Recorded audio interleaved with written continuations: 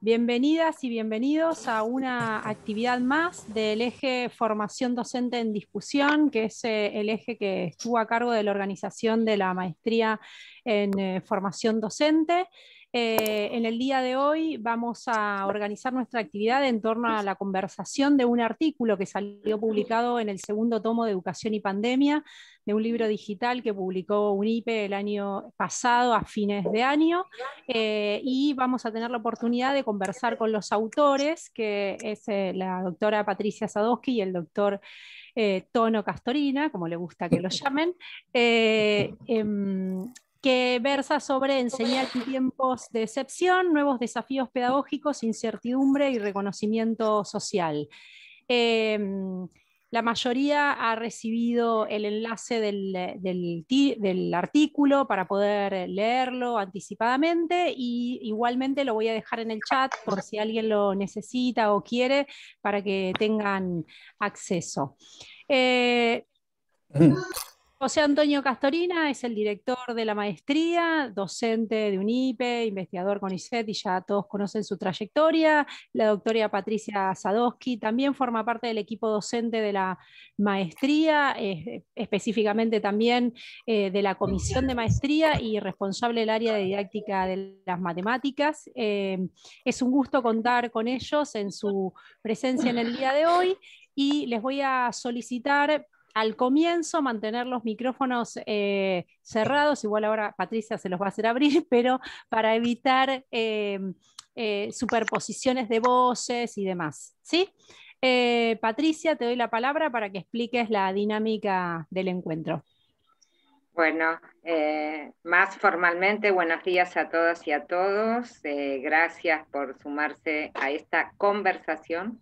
Esta es una conversación este, y ya estamos marcando la dinámica. Lo que nosotros vamos a hacer es una muy, muy breve introducción contándoles eh, cómo, cómo, cómo, surgió el, este artículo que hoy queremos poner a, la consideración de ustedes, pero la idea fundamental eh, tiene que ver con eh, comentarles los ejes problemáticos que nosotros fuimos encontrando el año pasado y nutrirlos y enriquecerlos con la perspectiva de ustedes, asumiendo que seguramente ustedes en sus diversas actividades encontraron estas mismas problemáticas que nosotros comentamos, ¿no? Entonces un poco la idea es esa, poner estos ejes problemáticos a consideración de ustedes y armar una conversación alrededor de ellos.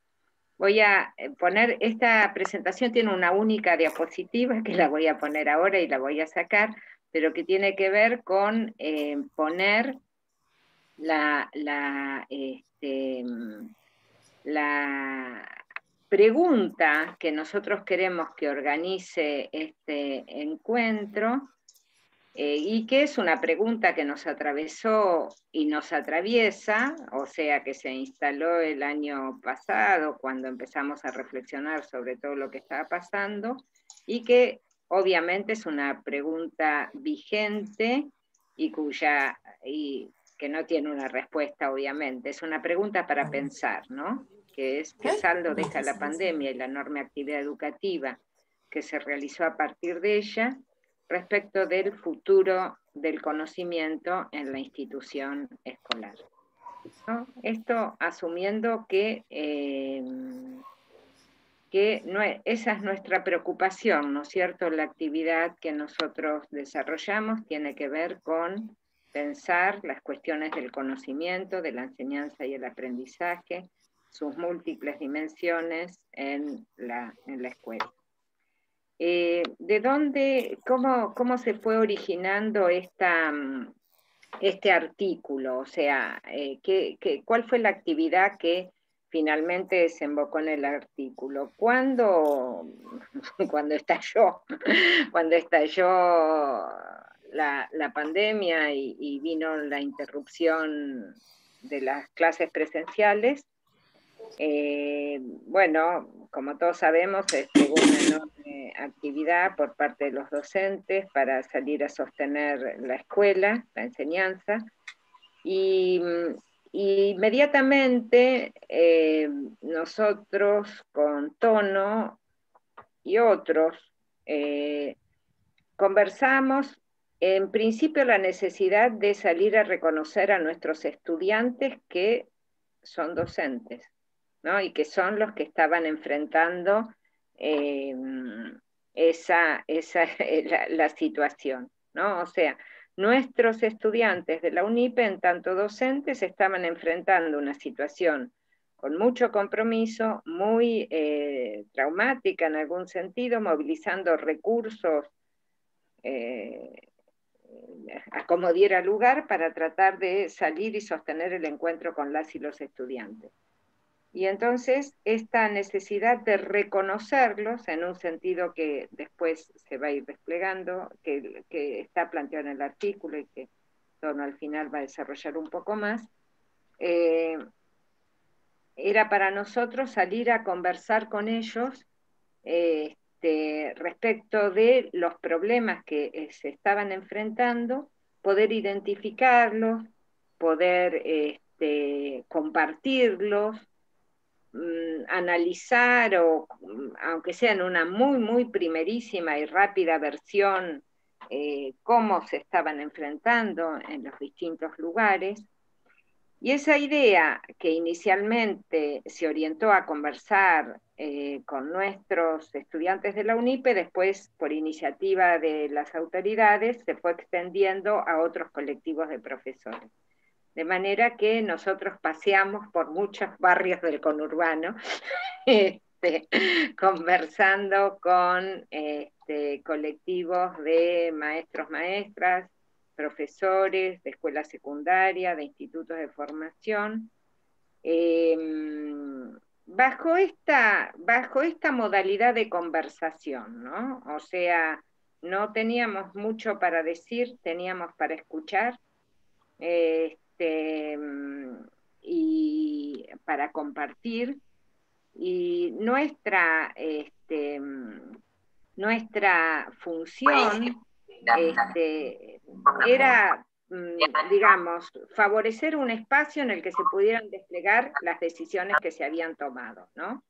Este, para hacerlas explícitas, para poderlas analizar, para promover un análisis compartido y nuestro papel en esas conversaciones, por supuesto, como digo, no era exponer al estilo de una conferencia, sino el aporte tenía que ver con el modo de preguntar, con alentar la comparación entre intervenciones, con repreguntar, el tratar de relacionar los problemas que se expresaban con el conocimiento, orientar el reconocimiento de las prácticas novedosas que se estaban movilizando y bueno, esto para nosotros era un modo de materializar un propósito que era el de darle voz a quienes estaban en la primera línea del campo de batalla enfrentando esta situación.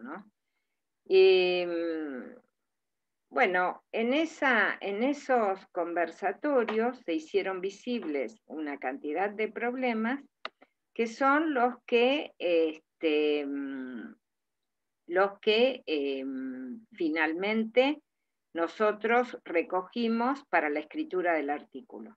O sea, el artículo que nosotros estamos presentando es un análisis de, lo que, de nuestras interpretaciones respecto de lo que eh, sucedió en esos conversatorios, en términos de los problemas que recortamos, ¿no? no en el término del relato de las reuniones en sí, pero sí en términos de los problemas que recortamos. Entonces, para iniciar un poco, para abrir el, juego y para este, dar voz a, todos ustedes y arrancar la conversación, eh, lo que vamos a decir es eh, cuáles fueron los problemas que recortamos, ¿no es cierto? Y que en el artículo están con títulos que tienen que ver con cómo los expresaban eh, las y los docentes. La desigualdad nos estalló en la cara, frase que circuló no solo en nuestro conversatorio, sino en el país entero, ¿no? Eh, las y los docentes diciendo la desigualdad nos estalló en la cara. ¿no? Esto es un, uno de los problemas, nosotros hacemos alguna aproximación, pero nos interesa ahora abrirlo. El otro problema que nosotros lo titulamos con la frase nunca había hablado por teléfono con un alumno, este, porque fue algo que dijo un profe en una de las conversaciones y nos impactó la manera de decirlo, la novedad que significaba ese vínculo con cada alumno que no está tan habilitado en las aulas, sobre todo en las aulas de secundario muchas veces, este, que a nosotros nos mueve a pensar eh, se resignifica la relación entre el colectivo aula y cada alumno. En, esta, eh, en este tiempo donde el WhatsApp fue una eh, herramienta de, este, de mm, comunicación muy preponderante y, el WhatsApp eh, era con cada alumno y mucho esfuerzo para sostener el WhatsApp colectivo, que también hay mucha documentación de eso, pero nos, movió a pensar y a repensar y creemos que es un tema a, seguir pensando, la relación entre todos y cada alumno. Y la otra cuestión que fue absolutamente tema de todas las conversaciones fue la relación con las familias, esto mucho más con los eh, maestros y maestras, o sea, mucho más con la escuela primaria, pero eh, que también abre un debate, una discusión respecto del papel de las familias en el proyecto educativo, en los procesos de aprendizaje de los chicos, en el conocimiento de la enseñanza y en el diálogo con la institución escolar, ¿no? O sea, ¿qué pasa ahí? ¿Qué proyectamos? ¿Qué vemos?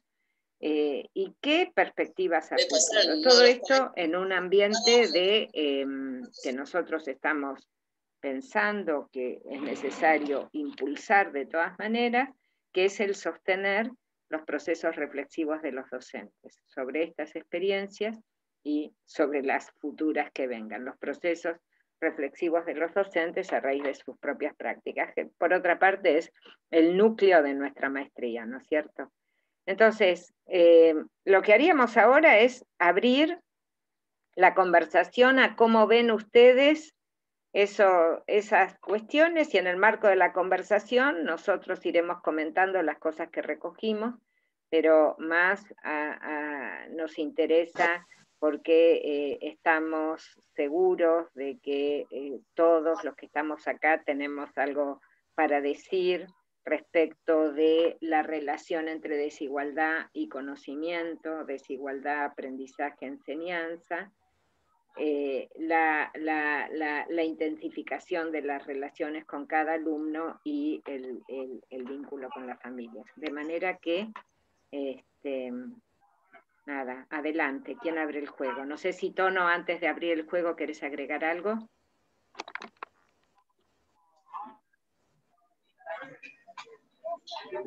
El audio, Micrófono, micrófono, micrófono.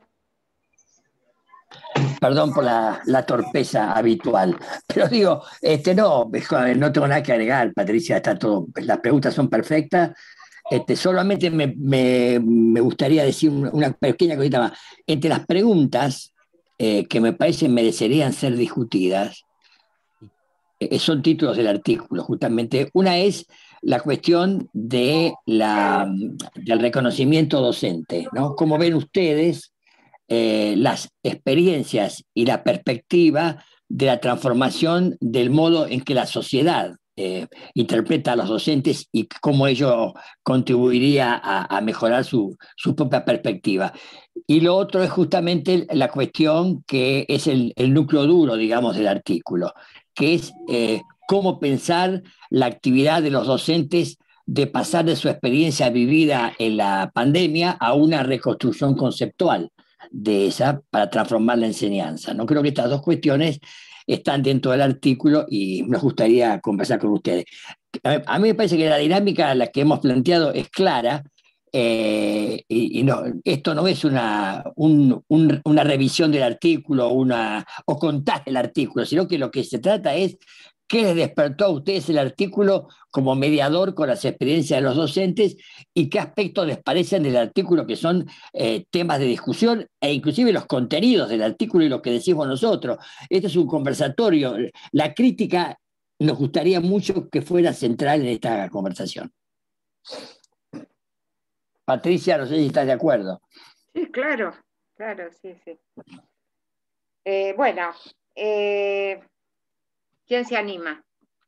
¿Quién se anima a, plantear, digamos, tenemos como dos, paquetes de cuestiones, ¿no es cierto?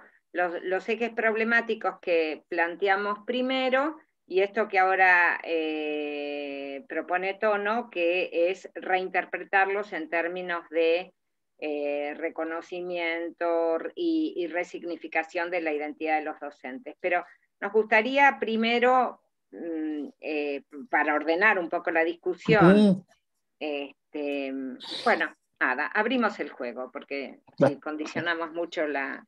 Por favor. El juego y, y cada uno arranque por donde le parezca. Patricia, una consulta. ¿Levantan la mano? ¿Se puede usar el chat también? ¿Demás? Eh, si quieren pedir la palabra por el chat, este, eh, eh, acá Paula,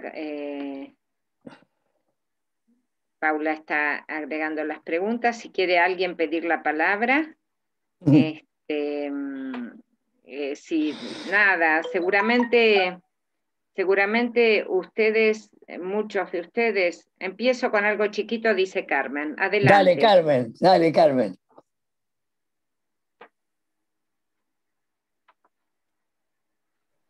Oral, ¿no? No, no, no, tenés que mandarla por escrita. Ah, sí, sí. Obviamente oral, es, una, conversación. Es una, no, es una prueba escrita a ver si entendieron el artículo. Igual el chat no queda en la grabación. Lo que digo sí, pero el chat no, así que es peor, porque están grabando. A ver, me quedo con todas las cosas que dijeron últimas Tono y Patri, me quedo con una del Tono que dijo que les resonó el artículo. O sea, me agarro de ahí y digo una cosa chiquita que me resonó a mí eh, para los que no me conocen, yo trabajo con docentes, no trabajo con alumnos, sino con docentes, en distintos formatos. Eh, y uno de los formatos es que trabajo en un grupo colaborativo donde estamos pensando cosas. Ese grupo viene de mucho antes, pero bueno, todas las reuniones ahora empezaban con cómo, cómo les va. O sea, el tema era otro, pero todas las reuniones empezaban cómo les va, cómo les va yendo, qué están pudiendo, cómo se sienten. Y había ahí una primera parte de las reuniones que, usando algunas palabras del artículo, eran catárticas, catárquicas, o, bueno, eso, eh, que probablemente no tuvieron mucha elaboración, pero que la sensación que a mí me dejaba es que había muchos docentes que no estaban pudiendo mucho, que estaban pudiendo muy poco y que ellos lo vivían como que estaban pudiendo muy poco y por más que ahí se compartían algunas cosas, al cabo de un tiempo volvían a decir que, bueno, que en realidad de sus 30 alumnos estaban laburando con 6, y eso lo vivían como con mucho dolor. Cuando yo leí el artículo de ustedes, eso sería como la anécdota, que yo no la quiero contar como catártica, pero es una anécdota.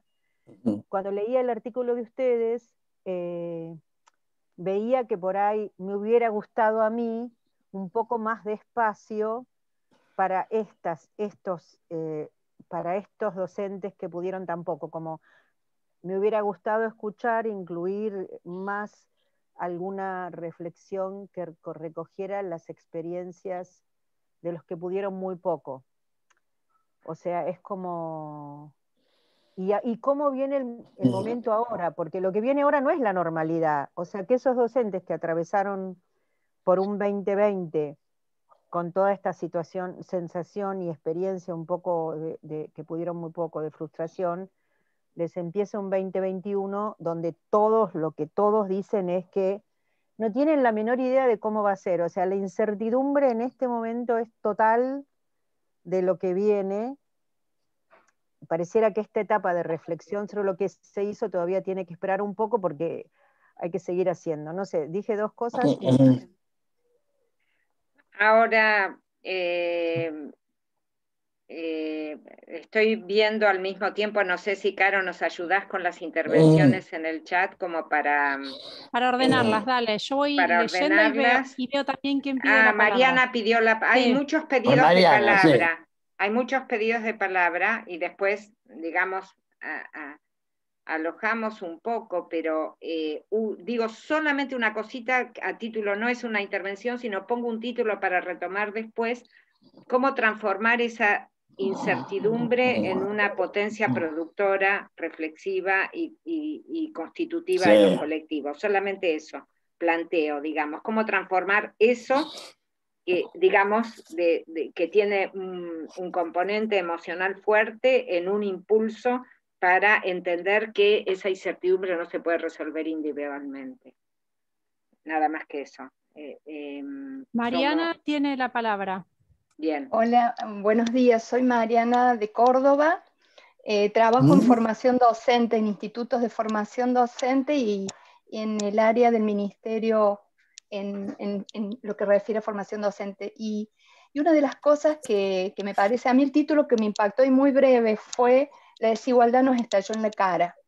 La desigualdad en la propia formación docente, en los propios estudiantes que se forman para ser docentes y especialmente en las mujeres digo, que se configuran como estudiantes a partir de ir al instituto, de prepararse, de vestirse, de, ese tiempo de detención y de estudio que se ofrece allí.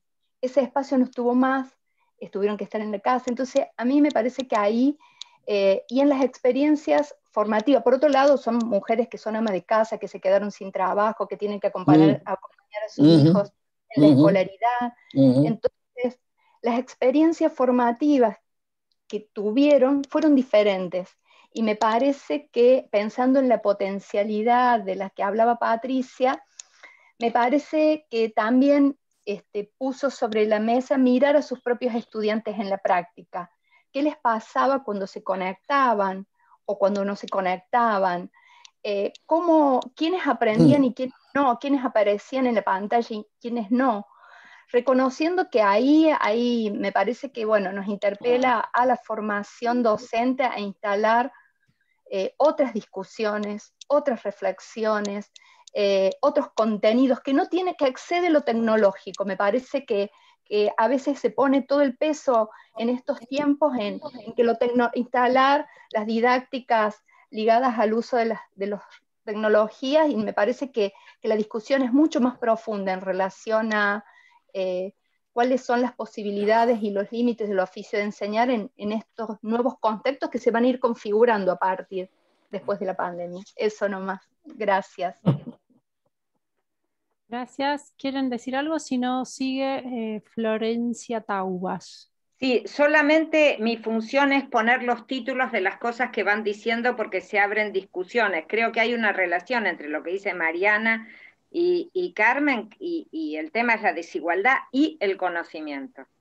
O sea, porque eh, podríamos pensar que eh, en parte la desvinculación tiene que ver con la desigualdad, pero nosotros queremos eh, situar la desigualdad en la relación problemática que tiene con el conocimiento y la interpelación que eso hace. Y me parece que eh, eh, acordamos mucho con vos, Mariana, y eso hemos tratado de expresarlo en, el artículo, eh, que esto, esto no es un problema tecnológico tiene un componente de la cuestión de la tecnología, pero esto excede completamente la cuestión de la tecnología, digamos, y, nos parece importante situar eso, porque si no pareciera que si conectamos a todo el mundo resolvimos el problema. Necesitamos conectar a todo el mundo, pero no resolvimos con eso el problema, seguro. Este, eh, Patricia, Patricia, bueno, no, iba a decir algo, pero... Dale. No, no, eh, eh, creo que me parece que eh, el problema de la desigualdad, estoy de acuerdo, sería un componente común entre las dos colegas que, intervinieron. y nos parece, creo que en el artículo está ahí, es un tema de debate interesante, es el de las formas en que la desigualdad se manifiesta en la práctica educativa en el proceso de enseñanza porque eh, hay un aspecto que es eh, completamente aceptable, obvio, que hay una desigualdad social eh, en el manejo del capital simbólico o, la pertenencia social que impacta en la escuela. Pero el problema es cómo impacta y, cuál es el rol docente frente a esa desigualdad. Si los docentes pueden hacer, hacer algo en su actividad de transmisión y, de producción de contenidos didácticos, o si la desigualdad social es un marcaje definitivo que no da lugar a, ninguna reacción de parte de los docentes. Es un tema clave, me parece a mí. ¿Se entiende lo que digo? Bien, eh, Patricia, vos también estás siguiendo el chat porque si bien Florencia ahora va a tener la palabra, ahí ya habían destacado también cómo esta acá hay, una, acá hay varias colegas. Eh, generaba un lugar de posicionamiento de creatividad por parte de los docentes. Mónica había hecho una pregunta en torno a la desigualdad, que ahora te la digo, dice, eh, la transformación conceptual se hace cuerpo en lo que se comprende más. ¿Qué es atender a la diversidad para la igualdad educativa? ¿Cuáles son los puntos de partida de cada una y uno? Y también por ahí creo que eh, Roxana Greco también planteaba que en los momentos para reflexionar sobre lo realizado es necesario hacer espacios para esa reflexión, ¿no?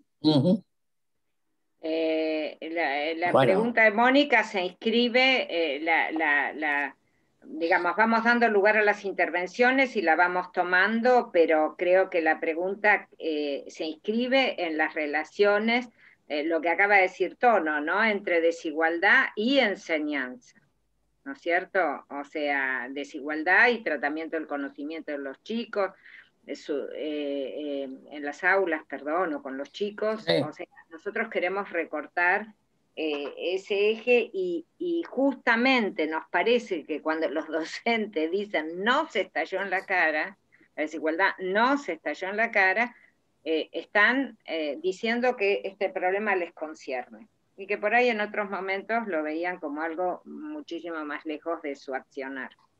Esa, es una de las cosas que, queremos alimentar en la discusión. Sí. Florencia, ¿no? Sí, Florencia y después Fernanda y queda, le sigue. Bien.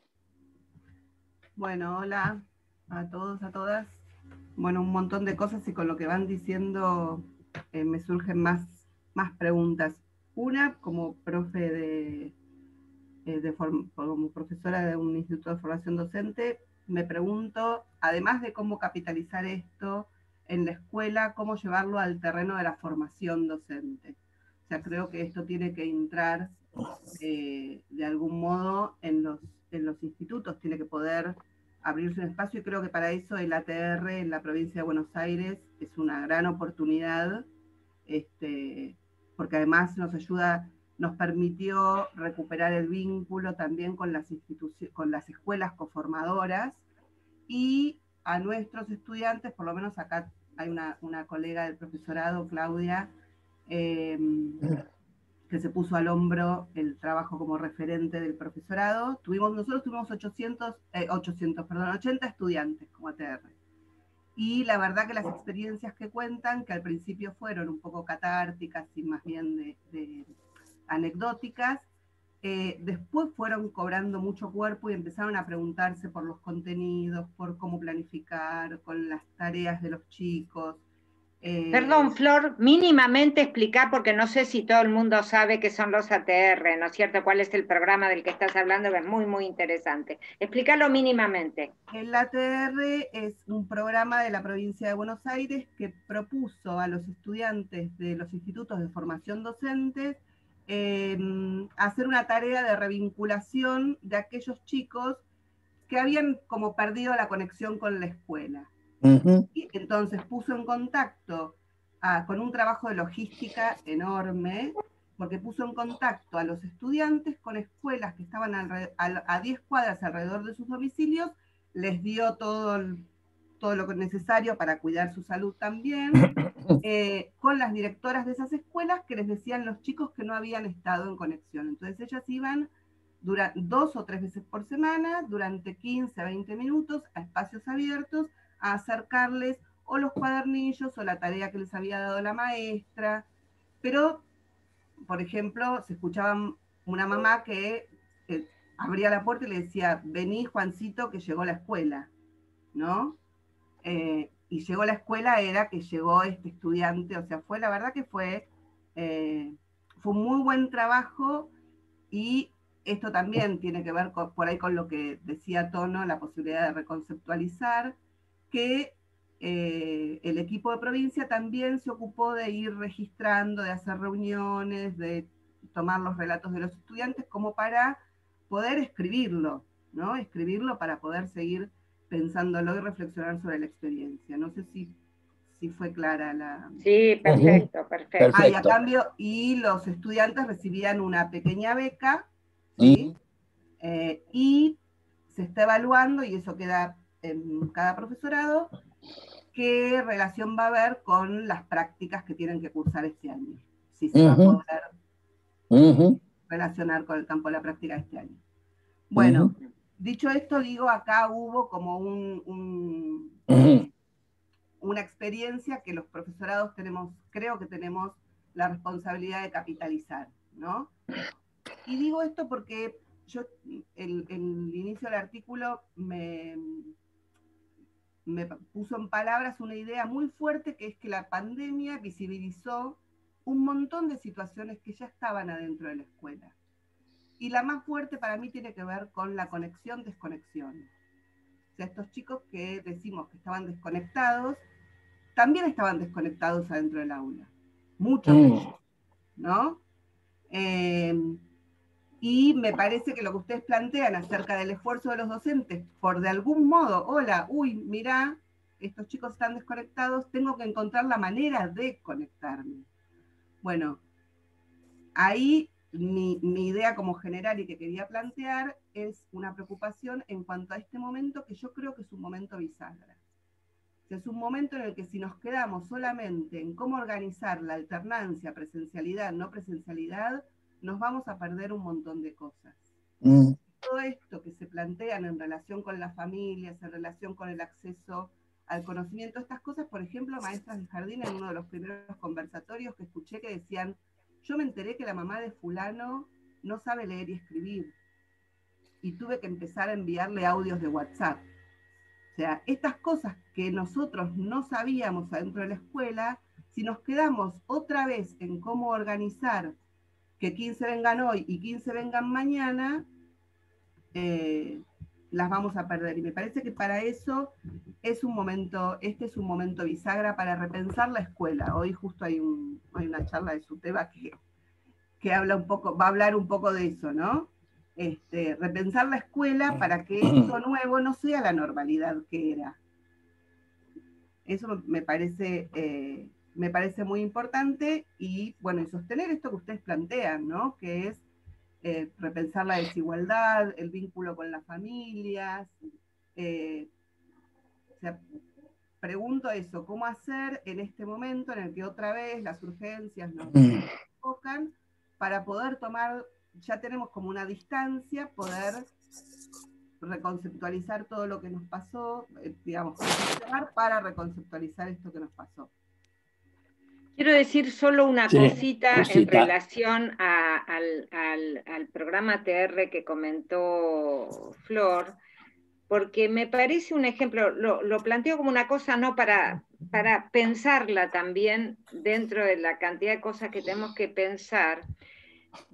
Muchas veces las políticas públicas, los programas que, con los que se enfrenta, por ejemplo, un problema de desigualdad, están lejos del ejercicio efectivo de las y los docentes. Y el programa ATR justamente es lo contrario de eso, mm. porque plantea algo en términos de salir a abordar un problema que era la desconexión de los chicos, que está en conexión directa con el accionar de las y los docentes de manera inmediata. A mí me parece esto algo interesante para pensar, porque la relación entre el hacer cotidiano de las y los docentes para abordar una problemática, por ejemplo, como la de la desigualdad eh, eh, educativa, y el hacer de las políticas públicas, que no, es, que no existe, pero muchas veces hay demasiada distancia ahí, digamos, ¿no? Y entonces no hay una correlación. Me parece que este es un ejemplo eh, no menor que nos muestra esa relación directa entre política educativa y práctica, concreta. Entonces lo, recupero, además de que considero que es un programa enorme y, excelente, lo recupero en esos términos para una, una de las cosas a seguir pensando. ¿Qué producimos eh. En, nuestra, en nuestro quehacer institucional? como docentes respecto de una problemática, pero también qué les pedimos a las políticas para que ese quehacer tenga un vínculo más directo con esas políticas. ¿no? Esa es una, una cuestión a, nada, no, no, no, la planteo para desarrollarla ahora, sino es un título. Ahí, eh, Patricia, Patricia, bueno, perdón. No, yo quería decir que eh, me pareció muy interesante lo que la colega que habló antes que Patricia eh, se refirió a la, a la, cuestión de evitar que el proceso de, de reconstrucción de la escuela sea meramente un proceso de estudiar qué va de, qué va de presencial y qué va de, virtual, o, tender a, una, a una, un análisis más bien técnico de lo que hay que hacer con la escuela. Y a mí me parece que lo que la colega mencionó es central. Lo que, nos, que hay que hacer, además de tomar medidas, etcétera, es eh, generar reflexiones entre los docentes, lo que la, la, colega está diciendo, y reflexiones eh, bueno, ya podemos después ahondar, qué sé yo, pero lo, crucial es que esa reflexión sea política pública.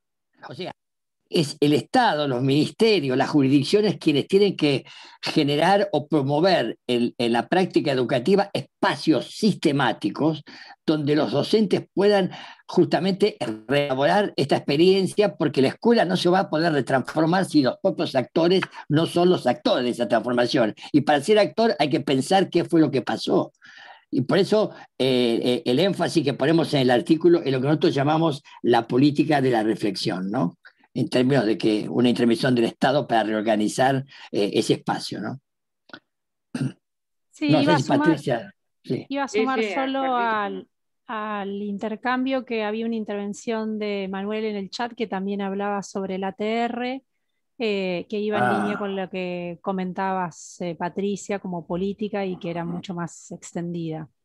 Em, ¿Dónde está la intervención? ¿La Dice la leo entonces. Sí, siguiendo lo que propone Flor en ATR, una propuesta formativa que pone el eje en lo democrático en el sentido que abre un espacio para cualquiera, no presupone nada más que la presencialidad, sino lo que ocurre que es, esperen que me perdí. Mm. Eh, ah, acá hay otro de ATR, esperen, porque, eh, no presupone nada más que la presencialidad. Si bien lo que ocurre es que la desigualdad social, económica, entre otras cosas, es lo primero que emerge. Los, Las ATR no van en búsqueda de los carentes, los que carecen o atender la falta, sino a reconocer, activar algo que poseen los sujetos desvinculados, la igualdad de la inteligencia, entre comillas, la capacidad de contar y expresar. Y acá Silvina también pone el programa ATR, permitió a los profesorados repensar las intervenciones, nuestro rol, el rol el de los docentes y las vinculaciones con las diferentes familias. Será un valioso insumo de reflexión para este año para el campo de la práctica. Y de alguna manera vuelvo a, la intervención inicial de Carmen. Eh, digamos, una cosa es esa sensación de impotencia y soledad que sienten los docentes cuando no, cuando de 30 se vinculan con 6, que eh, es, eh, pasó, eh, digamos, es, absolutamente generalizada esa experiencia. Y otra cosa es ver que al mismo tiempo que te está pasando esto, la política pública le da una respuesta a eso. Son, son dos situaciones diferentes, ¿no es cierto? Porque justamente creo que, que el impulso y lo que, lo que tenemos que discutir y promover es cómo entendemos que estos problemas no son individuales. Cuando los pibes no se conectan, no es el problema del profesor que no lo sabe conectar, ¿no? O sea, eh, eh, y, y poder compartir esto como un problema colectivo, dejando de lado la culpabilización de unos y otros, ¿no? O sea, ni culpabilizamos a los docentes porque no los conectan a los chicos, ni culpabilizamos a los chicos de la familia porque no se conectan. Estamos asumiendo un problema Y entonces me parece que, eh, digamos, también el ATR cumplió la función de dar una respuesta no solo a los chicos, sino a los, docentes en la soledad del problema que estaban enfrentando. Creo que, ahí, ahí, estamos aprendiendo mucho de algunos ejemplos. Este, este creo que es uno. Este, Bien, seguimos. Si quieren, estaba Fernanda y queda para exponer una experiencia, aparentemente propuso. Hola. Sí. Sí, no, en realidad primero quiero agradecer a los que están haciendo referencia a este programa TR. Yo estoy en los institutos de formación de la provincia de Santa Fe y la verdad que lo desconocí, así que bueno, una de las cosas que me llevo del encuentro es eh, estudiar esto de la TR y ver qué, podemos hacer. No, lo que me interesaba un poco plantear, esto ante la desigualdad que nos estalla, eh, también otro tema que me parece que expuso cómo veníamos trabajando, y es que eh, no solamente nos, estalló la desigualdad, sino que nos estallaron un montón de cosas que veníamos haciendo mal, o que veníamos haciendo poco, o que veníamos haciendo eh, de manera inercial, y que, bueno, nos estalló eh, en cuanto a ver algunos puntos flojos, para decirlo simplemente, que, no estábamos viendo. Entonces, eso me parece que, mm, que, puede llegar a ser positivo en tanto nos detengamos sobre eso y, y como también se mencionó acá, repensarlo desde lo pedagógico, ¿no? Eh, me parece que sirvió mucho para hacer, como, como se decía en algún momento, un diagnóstico de lo que veníamos haciendo, lo que veníamos trabajando y que no, estaba funcionando pre-pandemia. Y, bueno, el desafío es ahora poder, poder mejorar, poder, poder trabajar con eso. Pero bueno, la verdad que muchas de las cosas las dijeron eh, las docentes que intervinieron antes, tanto Mariana con respecto a, los institutos de formación y yo estoy en los espacios de residencia. Una cosa que me interpeló mucho es eh, que me parece que fue poco lo que pudimos, digamos, eh, lograr en términos así más, más concretos con, los estudiantes, pero sí tengo que destacar que esta realidad que mencionaba Mariana, sobre todo de, estudiantes que a la vez de estudiar trabajan, que son a veces este, jefas y jefes de hogar, y, todas esas situaciones que tienen que ver con la desigualdad, eh, nos están indicando, digamos, de, nos están indicando que hay gente que, quiere superarse, que quiere apostar al, al, futuro y que, bueno, no podemos dejarlo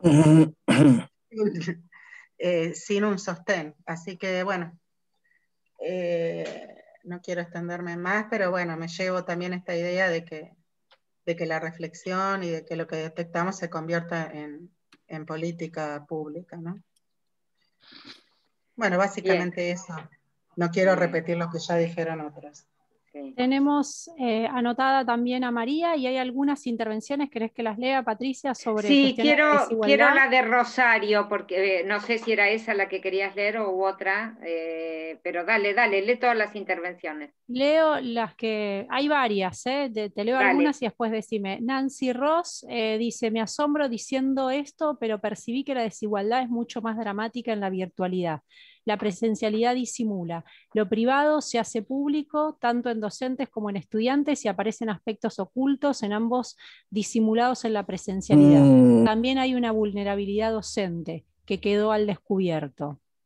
Después Amador dice, los docentes aprendimos a mirar lo que sucedía en torno a las formas de enseñar en la diversidad ya no seguimos diciendo que la familia se adaptó a nuestra forma de trabajo. Nosotros aprendimos a adaptarnos activamente a la diversidad de acceso al conocimiento a partir de las posibilidades de cada familia.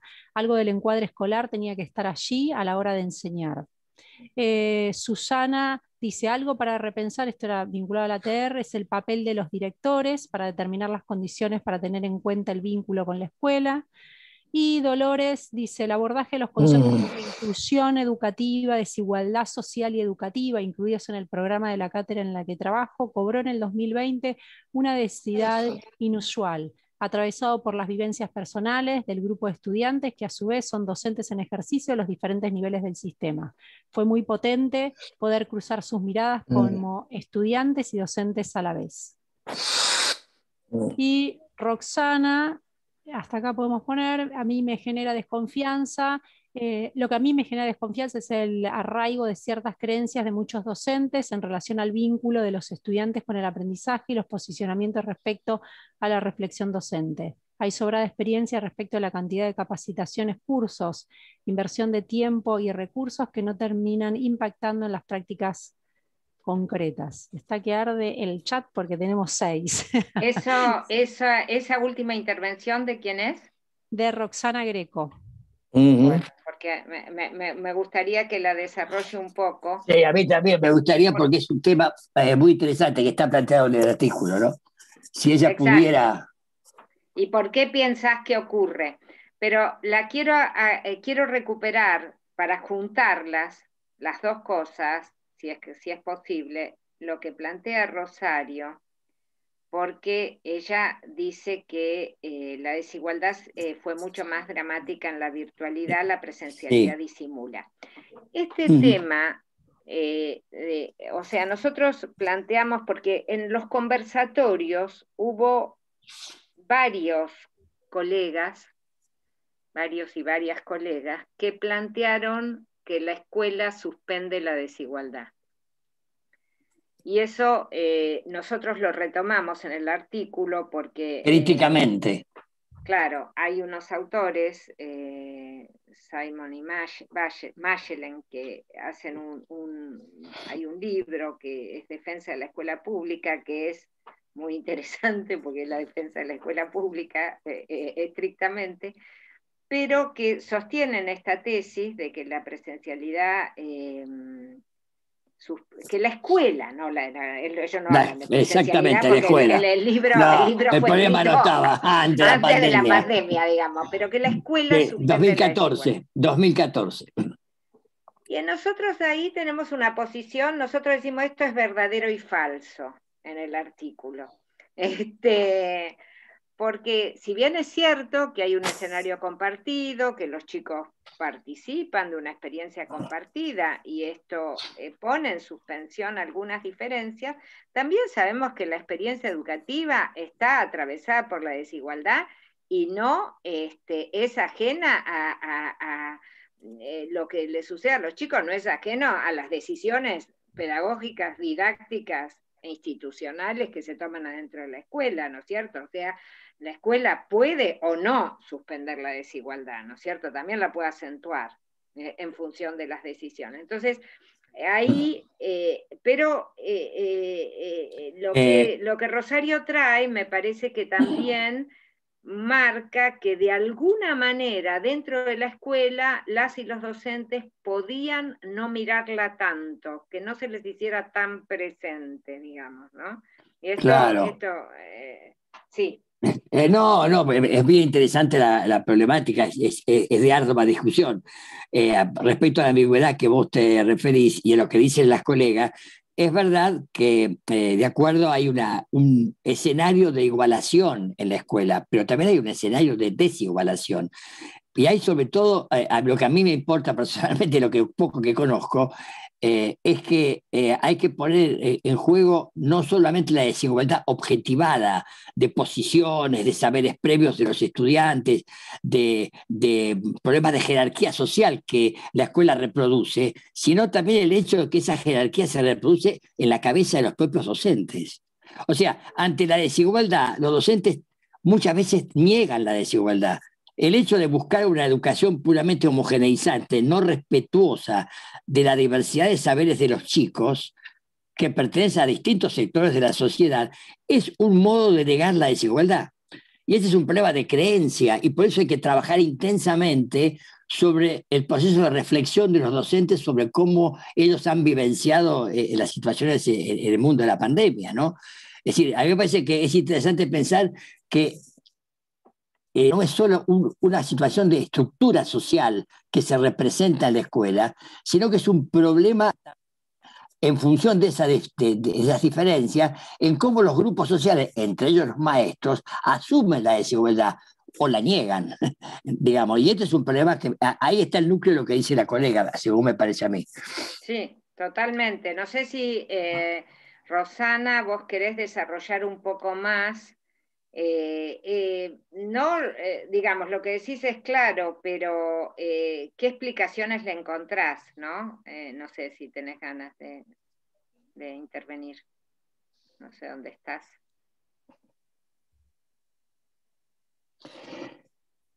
Si no, se escucha. Si no toma la palabra Roxana. no, eh, eh, iba a agregar algo a este respecto. Ah. Mirá, eh, en algunos autores, por ejemplo, discúlpeme, yo soy un poco, un poco este, de libresco más, ¿no? Pero digo, es interesante, porque cuando hablamos de la reflexión docente y pedimos, en buena medida, consideramos que esa reflexión de los docentes sobre sus prácticas asuman el problema de la desigualdad en tanto, digamos, hay que cuestionar las desigualdades sociales. Los maestros tienen que cuestionar las desigualdades sociales si quieren ser suficientemente críticos de su rol.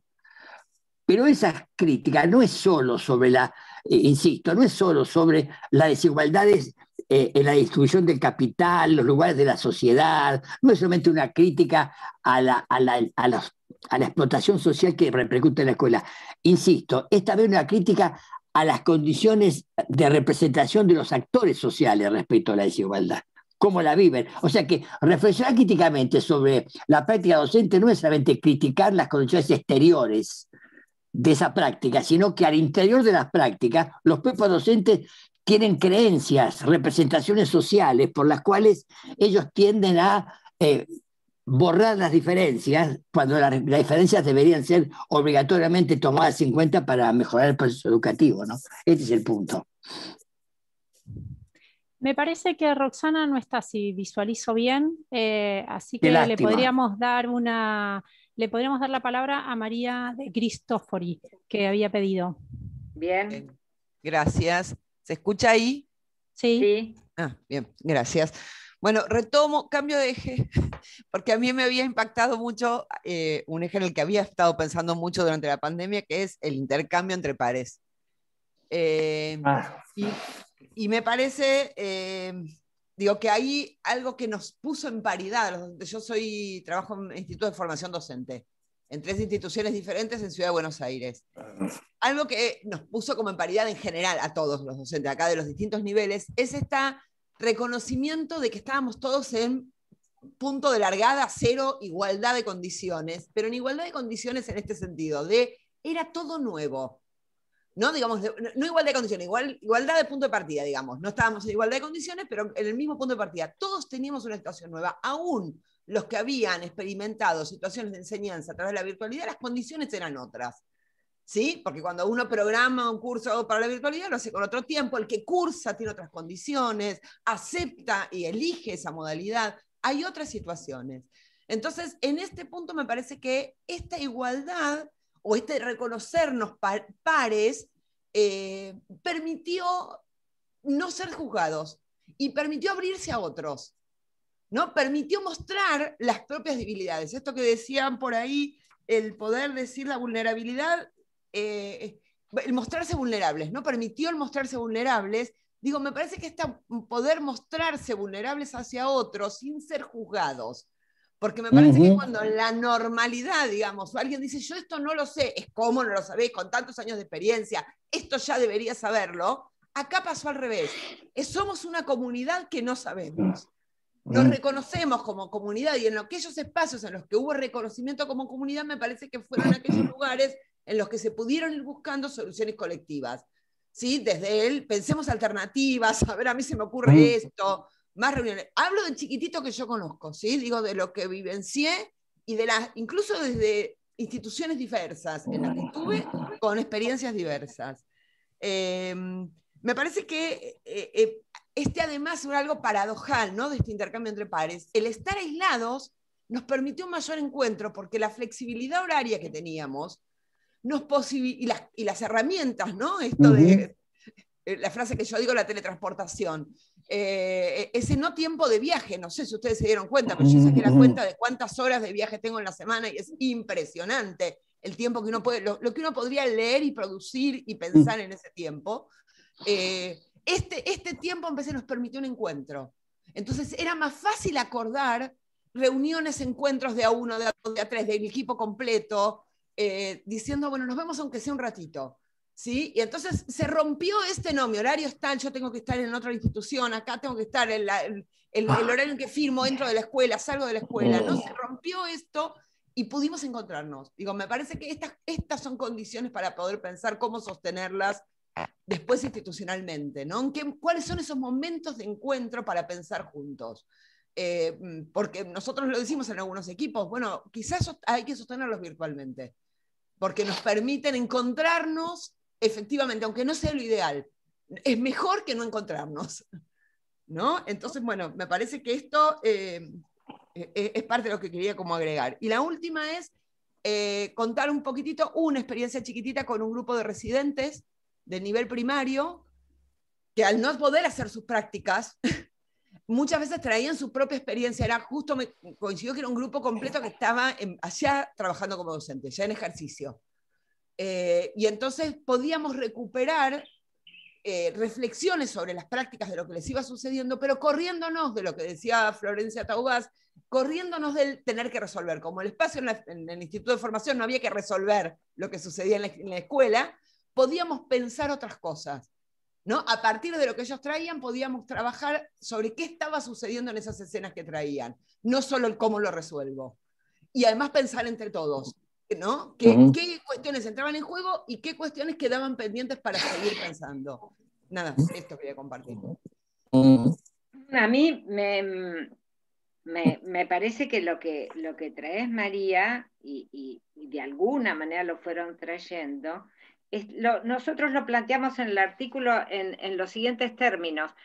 La incertidumbre hizo posible darle lugar a la enseñanza como exploración, la enseñanza eh, como hipótesis, ¿no? como eh, la, aplicación de secuencias seguras que garantizan algo. Y esa posición exploratoria, esa posición que legitima vamos a probar esto y vamos a ver cómo nos va, porque no sabemos, porque el escenario es nuevo, porque se nos cambiaron completamente las coordenadas, porque el contexto, obviamente nos dimos cuenta de cuánto el contexto nos contenía en nuestras certezas, me parece que esa incertidumbre legitima la, digamos, hay tres cosas que se juntan, creo que es lo que vos estás diciendo y de alguna manera nosotros lo decimos de una manera parecida también en el artículo, la incertidumbre, la legitimación eh, de, la, de, la, actitud exploratoria y la paridad. ¿no? O sea, y, tres condiciones que son muy favorables para la constitución de un colectivo que reflexiona y que discute, y que ensaya, y que prueba, y que tiene derecho a equivocarse. ¿no?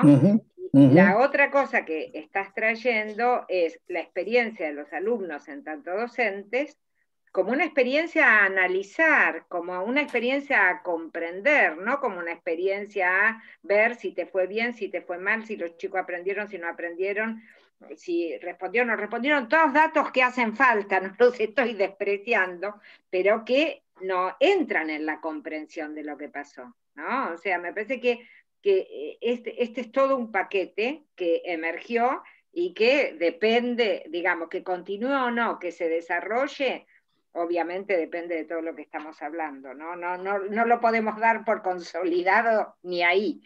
Este, sí. no, Patricia, pero va a depender eh. de estos espacios que se generen, ¿no? De poder sostener estos espacios de encuentro. Si estos espacios, ustedes lo dicen en el artículo, si estos espacios no se generan desde la política educativa, digo, desde la política a nivel general, pero también eh, las decisiones institucionales, ¿no? Si no se generan estos espacios, seguimos haciendo estos encuentros de pasillo que me parece que no aportan la reflexión. Son comentarios aislados que permiten que cada uno vaya pensando en su tiempito aisladamente. Está bien, está bien. Eh, eh, una, solo subrayar algo. cuando las colegas hablan de la paridad o, la relación entre los pares y que justamente esa actividad conjunta es lo que ha permitido abrirse a los problemas y, es, como se dice explorar, eh, yo quería simplemente eh, subrayar lo que Patricia señaló, porque a nosotros es importantísimo desde el punto de vista epistemológico en el artículo, que es que todo aprendizaje, toda situación de aprendizaje es abierta, es incierta. No es verdad que hay una certidumbre escolar y una incertidumbre porque no sabemos cómo le va a ir al chico. La naturaleza misma del conocimiento es el incierto. La resolución de problemas no está predeterminada en ningún lado, ni en la cabeza de los chicos, ni, en el docente, ni en las prácticas eh, preexistentes.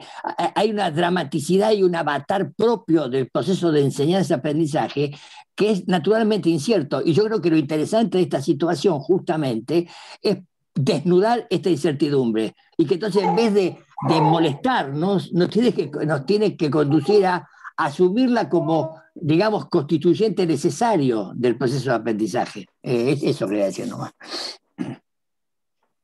Eh, hay varias intervenciones en el chat, no sé si quieren que lea algunas, van a fin a lo que venimos hablando, y también se sumó otra vez eh, Roxana Greco, ¿sí? no sé si, si quieren ahora o primero leer. Una activa participante. Muy no, que Roxana, no sé si escuchaste cuando te convocamos, pero vos planteás ¿Querés que lea la intervención de ella? Sí, lea la intervención. Lo que a mí me genera desconfianza es el arraigo de ciertas creencias de muchos docentes en relación al vínculo de los estudiantes con el aprendizaje y los posicionamientos respecto a la reflexión docente. Ahí está. Hay sobrada experiencia respecto a cantidad de capacitaciones, cursos, inversión de tiempo y recursos mm. que no terminan impactando en las prácticas concretas. Eh, ¿Cómo?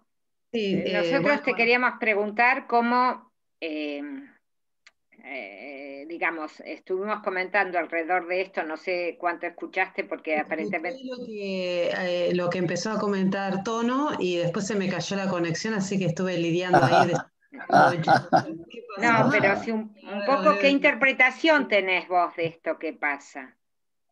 Eh, a ver, eh, no, yo un poco eh, lo escribía en función de algo que también hemos este, conversado con Emilio Tenti Fanfani respecto a la diferencia entre creencia e ideología y que es más difícil remover las creencias que este, cambiar de ideología, digamos, ¿no? En el sentido de que hay docentes que por ahí creen, por ejemplo, que eh, el origen es destino, entonces eh, en un discurso, por ejemplo, eh, pero ¿qué querés de la familia que vienen? o, qué, si siempre fueron pobres, ¿no? Esto que ustedes traen, que yo me, animé a retitular como la creencia del pobre fracasado, ¿no? Este, que me parece que hay cuestiones que tienen que ver con las creencias de eh, muchísimos docentes respecto a que eh, la escuela no puede hacer nada en relación a el origen. ¿no? Eso por un lado. Por otro lado, pensaba en mi experiencia como capacitadora. Por ahí pienso que el, Estado hace una fuerte inversión en tiempo, en recursos, eh, que damos eh, capacitaciones, que acompañamos procesos, etcétera, pero que después, y ahora ya lo digo como, como inspectora, que, fui 10 años de secundaria, veíamos poco impacto de esas capacitaciones, me refiero específicamente a las de, a las de los CIE este, en provincia de Buenos Aires, eh, poco impacto en, eh, luego en la eh, relación, en el vínculo pedagógico al interior de, de las aulas, ¿no? Esas son por ahí las, reflexiones que a mí me movió algo de lo que dijeron ustedes en relación al artículo o algo que, que surgió. ¿no? Con respecto a esto de, la reflexión, ¿no? Porque estas capacitaciones, por ahí que están planteadas de los CIES, eh, se reflexiona muchísimo sobre la práctica pedagógica, pero no sé si logra impactar en las creencias. A, eso, a eso me refiero. A, ver, ah, a, mí me... Ah, ¿Querés hablar? No, eh, no, no habla vos, después hablo yo, ¿no? Por favor. Este, me suscita varias eh, reflexiones lo que estás planteando, por supuesto interesante. Una, una cuestión es preguntarnos si este escenario conmovió eso que vos estás diciendo. Nosotros creemos que en parte lo conmovió. Antes de eso quiero decir algo. Digamos, la posición de los docentes con relación a esto no es homogénea, ¿no? O sea, hay, hay grupos de docentes que se inscriben en lo que vos planteás y hay otros que para nada, digamos, ¿no es cierto? Y tenemos, entonces ahí hay, hay, una, un, potencial. Nosotros eh, pensamos que eh, se salieron a producir experiencias que intentan eh, salirle al cruce desde la propuesta pedagógica a esta cuestión. ¿no? Eh, por eso en el, en, el, artículo nosotros ponemos el ejemplo de la radio como respuesta posible, pero lo ponemos por las condiciones, o sea, nuestra intención era enumerar las condiciones que esa experiencia tiene, porque esa es una experiencia que reúne actores de adentro de la escuela y de afuera, reúne en una situación de bastante horizontalidad a los estudiantes con los docentes, incluye las filiaciones culturales, por decirlo de alguna manera, de las y los estudiantes, o sea, incluye las prácticas este, culturales de las y los estudiantes y resignifica ciertos temas del currículum en un tratamiento completamente diferente. o sea, nos parecía que ahí hay una cantidad de condiciones que rompen con la escena eh, este, tradicional, eh, que las eh, docentes que lo relatan dan cuenta del involucramiento de los chicos. O sea, en nuestros conversatorios encontramos algunas situaciones donde los docentes nos contaron, se fueron y cuando tratamos esto volvieron. Por ejemplo, en un caso, los chicos de escuela secundaria que habían se habían desvinculado y de pronto se plantea el tema de violencia de género y vuelven todos a discutir ese tema, o vuelven muchos a discutir ese tema, ¿no? Entonces, estas, estas cuestiones nos dicen cosas o sea, nos plantean preguntas respecto de por qué acá volvieron, ¿no? No, no, no, ni para hacer, ni, obviamente uno no está planteando, hagamos radios o hagamos discusiones de violencia de género, sino está diciendo qué pasa acá, que los chicos vuelven y que dan cuenta de lo que los chicos por algunas cosas se interesan y, eh, en otras es bastante más difícil eh, desconectar.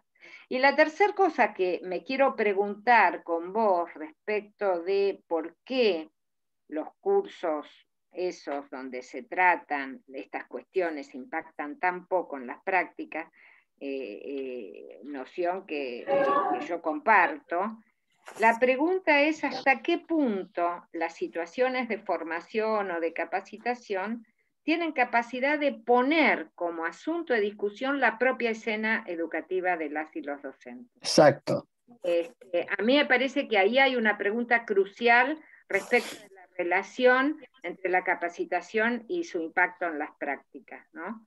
Porque el tema es que, pero con, un, con una posición que no sea justamente la de juzgar, bajo el lema, sos un discriminador, tenés que integrar, sino de problematizar la desconexión de los chicos y proponer exploraciones para hacerles, hacerles frente acompañando a los docentes, en una posición de acompañamiento y no de Entonces, también ahí hay unas condiciones, porque eh, la discriminación también tiene eh, un componente de impotencia, ¿no? O sea, porque no puedo, porque no me contesta.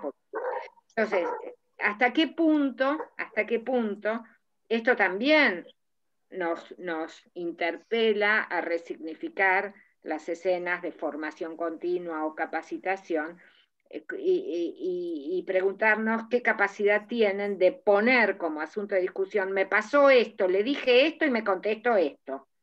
Y eso, y esa unidad, quería hacer esto, propuse esto, me dijeron esto y yo le contesté esto. Esa unidad puede ser objeto de debate, de exploración, de búsqueda en una escena de formación. Es decir, lo planteo como, como como asunto, como debate. Tono, vos querés también plantear. Si les parece, Tono, paso unas palabras y después hay varios chats, si quieren leo algo, y hay ah. algunos que pidieron palabra también. No, muy No, yo sencillamente este, tengo un gran afecto y respeto intelectual por un, un por un académico del nivel de Emilio Tenti, pero me parece que la relación entre creencia e ideología no es algo tan sencillo porque no hay creencia sin ideología. La creencia, la creencia es una afirmación. Yo lo simplifiqué, Tono. ¿Eh? ¿Vos lo.? seguramente yo lo, he simplificado ahora para, para expresar desde el anclaje en que lo decía, perdóname. No, no, yo digo que es un problema de debate, nada más. Estoy diciendo que, eh, bajo ciertas condiciones, si alguien cree que un alumno tiene un origen que determina su trayectoria educativa, y esa es una, es una creencia, sí, es una representación colectiva de muchas docentes. Pero eso está anclado dentro de una condición del mundo, según la cual el mundo es como es y no se puede transformar.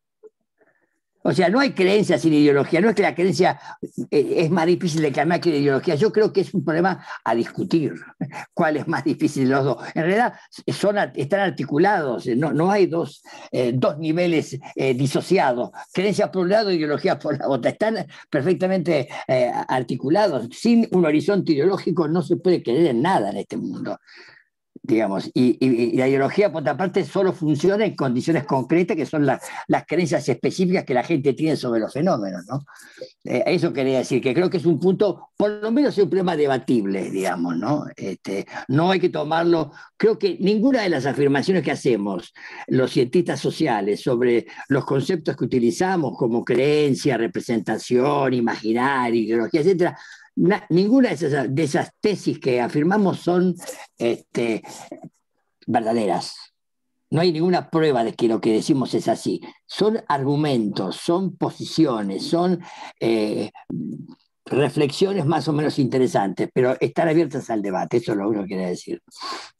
Bien, sí, ¿Les parece? Leo algunas intervenciones que seleccioné en línea con lo que había habilitado, me queda un poquito solo por fuera eh, de lo que había habilitado también María con la intervención respecto de los espacios de encuentro para revisar la experiencia transitada. Paula Carlino, antes de esa intervención, decía la desgracia de la pandemia en la medida que dio origen a acciones docentes valiosas y creativas y a toma de conciencia puede convertirse en conocimiento y saber pedagógico si no damos vuelta a la página y si documentamos, debatimos, analizamos y publicamos. En esa línea, ya habiendo hablado María, Mónica dice, eh, retomando el eje que trae María, coincido en el encuentro que permitió y en las posibilidades que aparecieron en proyectos colectivos. Flor Taguas dice, tomar distancia de las producciones de los chicos nos permitió discutir y repensar las intervenciones, compartir las tareas con otros y sumar miradas.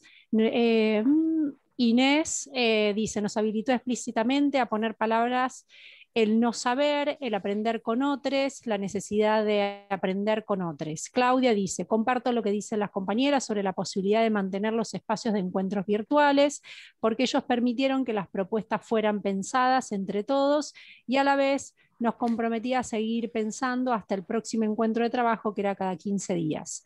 Fernanda dice, coincido con María con respecto a los docentes, pero muchos estudiantes perdieron la posibilidad de tiempo y espacio propio, salir de la casa y vencer el momento estudio como momento propio. Inés dice, nos humanizamos, sentimos, no sabemos todos, habilitó explorar estrategias diversas, pensar y plantear las trayectorias escolares. Y Nora dice, lo indeterminado, las experiencias ocurridas apela directamente al compromiso personal de los docentes con lo que se hace. Una dimensión a tener en cuenta cuando pensamos en esta reconstrucción de la identidad docente. En este sentido, me parece que la cuestión remite a cuestiones éticas, hasta dónde lo que hago tiene que ver con aquello que se espera de mí o tiene que ver con la situación que estoy viviendo me reclama. Creo que no es posible responder a esto sin un claro posicionamiento ético-político frente a las tareas de enseñar. Hasta acá un recorrido y yo sumo en este tren de intercambios una pregunta que me parecía interesante, por lo menos para ver qué, posición tenían. Ustedes en el artículo plantean con claridad, digamos, que para hacer una reconstrucción conceptual de estas experiencias vividas, es preciso transformarlas en un saber objetivado por medio de los esfuerzos de abstracción y sistematización. Eso implica tiempo, eso implica disponibilidad y gran parte de los colegas que acá plantearon dicen que esos espacios pueden ser espacios virtuales porque eso mismo sucedía en la presencialidad. Antes de la pandemia, las posibilidades de innovar, de lo que un docente va cambiando, ajustando y demás, pero no estaban habilitados esos espacios también para poder hacer un mm. trabajo sobre, reflexivo sobre su práctica. Entonces, estoy diciendo, la pandemia ha traído nuevas condiciones, nuevos desafíos a la práctica docente, pero la práctica docente ya tenía esos desafíos y en ningún momento quizás encontraban un espacio para poder hacer ese trabajo reflexivo que ustedes apelan y que ahora sí quizás la eh, virtualidad eh, permitió encontrarse en un espacio no presencial, pero también eso implica, si no hay políticas que lo acompañen, como la posición ético-política que tiene un docente de destinar sus horas a esos encuentros. Bueno, solo para Quiero, quiero eh, acá veo una intervención de Carmen que es de hace un rato, pero eh, que plantea un tema que me parece que es interesante discutir, no digo ya, pero ella dice desigualdad es bien diferente a diversidad, ¿de acuerdo? Este, y por ahí vale la pena que, le demos una, una vueltita también a eso, ¿no? Este, mm, eh, a mí me quedó resonando en ese conjunto de intervenciones que leíste, eh, Caro, que, bueno, por supuesto las voy a tener que volver a leer, ¿no? Porque son un montón de aportes y uno no, nada, la, mayoría se me escapa, pero eh, alguien eh, en ese conjunto de cosas que leíste dice, tengo que eh, renunciar a lo que se espera de mí y enfrentar lo que se reclama, lo, que se necesita, algo por el estilo. No sé si fueron exactamente esas palabras. Eh, a, mí me parece que esa tensión es parte de los procesos de reconstrucción. O sea, que cuando uno vuelve sobre las decisiones que tomó, ahí hay un, siempre hay una tensión entre lo que deseo y lo que es posible, y también una tensión entre lo que quiero ser y lo que creo que estoy obligado a hacer, que no deja de ser una creencia en parte. Este, y deshacer, hacer, o sea que cuando uno vuelve sobre las decisiones tomadas en un proceso de reconstrucción que nosotros insistimos bastante, que, no es relatar, eh, tampoco es descarnar, pero que no es relatar simplemente, este, con, un efecto catártico, como, como trajo también Carmen al principio, em, volver sobre las decisiones tomadas también es inscribirlas en un contexto, pero inscribirlas en, esta relación entre lo posible y lo deseable y lo, y lo mm. obligatorio y lo que creo que es obligatorio y las reconfiguraciones a las que el momento me llama. Este momento fue un momento de mucho margen para las reconfiguraciones de todo, de los contenidos, de las formas de seleccionarlos, de, los asuntos que decidíamos tratar con los chicos. Entonces ahí hay un potencial que, acuerdo completamente mm. con Paula Carlino, hay que recuperarlo sobre la base de la documentación y, volver y sistematizarlo, si no, esto se pierde. O sea, pero justamente por lo que decíamos antes de, de, la incertidumbre que habilitó la, la, cuestión de la exploración como parte de lo que estamos haciendo, este, creo que en esa incertidumbre también tenemos que eh, incluir estos aspectos, como por ejemplo lo que yo creo que estoy obligado a hacer. Que muchas veces es, este, no, es, no es estrictamente lo que estoy obligado a hacer, sino lo que creo que estoy obligado a hacer. Este, que, que, pareciera que es algo interesante para poner en cuestión y para poner sobre la mesa en un proceso de reconstrucción, que es un proceso que intenta volver sobre los fundamentos a posteriori. ¿no? Esto también lo decíamos el otro día. Cuando uno habla de, de reconstruir los, las decisiones que se tomaron eh, y encontrar fundamentos para esas decisiones, no es que los fundamentos estuvieron antes, en el momento en que las tomamos, porque eh, la, premura fue el condimento esencial, ¿no? O sea, había que salir a actuar y muchas veces se salió sin mucho, sin mucha posibilidad de desarrollar y de fundamentar y de analizar. Pero cuando volvemos sobre las situaciones, aunque ya hayan pasado, les podemos encontrar fundamentos, o las podemos resignificar, matizar, revisar, cambiar. ¿no? Esto es parte de lo que nosotros entendemos por procesos de reconstrucción, ¿no? Lo que llamaríamos fundamentos a posteriori. Este, no sé si... Sí. No, eh, eh, dos pequeños comentarios. Uno sobre la pregunta de Carmen, que parece que también da, da hilo para mucha discusión, porque en general el pensamiento eh, multicultural, de la diversidad hoy, este, pareciera que la atención a, las diferencias culturales y étnicas en, el mundo educativo se reduce al reconocimiento de esa diversidad. Y el problema está en que, eh, si bien eso es cierto, la diversidad oculta lo que le interesa a Carmen y a mí, que es la desigualdad. Por momentos, uno no puede hablar de diversidad sin considerar que los sectores que están eh, diversos, hay unos que, están por encima de otros. O sea, hay una diversidad cultural, pero hay una cultura que se impone a la otra y la, la somete. Entonces, el problema está en que la discusión educativa, respetando los puntos de vista de distintas culturas, eh, cuestionar la desigualdad, porque si no se cuestiona, esa diversidad no se va a asumir en serio en la práctica educativa. Yo creo que eso es un tema eh, absolutamente eh, central. Y la segunda cuestión, respecto a lo que comentaba Patricia, que ha sido motivo de muchas de nuestras discusiones, el problema de la, eh, la naturaleza misma de la reconstrucción, yo estoy completamente de acuerdo, no tendría nada que agregar a lo que ella acaba de comentar, solamente mencionar que la reconstrucción en la que se está pensando tiene condiciones.